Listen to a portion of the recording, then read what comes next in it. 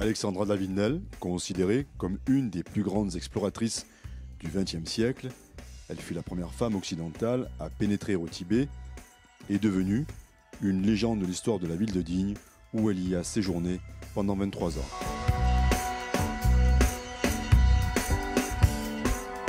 L'association qui lui est consacrée a transformé un problème auquel elle était confrontée en une réussite assurée au regard de l'affluence record lors de l'inauguration de ce nouvel espace.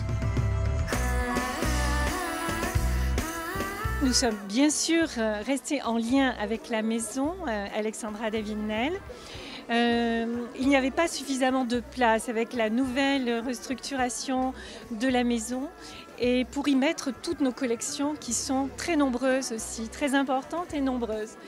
Donc voilà, il a fallu euh, partir avec un peu le cœur gros, mais finalement, euh, c'est bien aussi d'avoir cet espace où on peut faire ces rencontres, euh, ces conférences, etc., qui sont très importantes pour nous. C'est l'aboutissement de plusieurs mois de travail. C'était un garage, et donc on a beaucoup travaillé pour le rendre, pour rendre cet espace beau.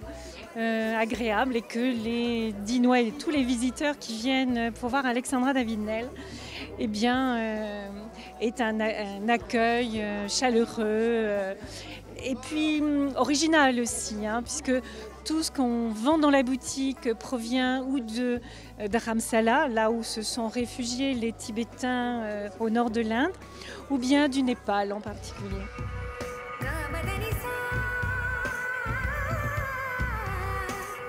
original à l'image de l'audacieuse pionnière exploratrice du bouddhisme, à qui se dévoua, pendant sa vie à Digne, Marie-Madeleine Perronnet, attentive ce soir-là aux moindres détails.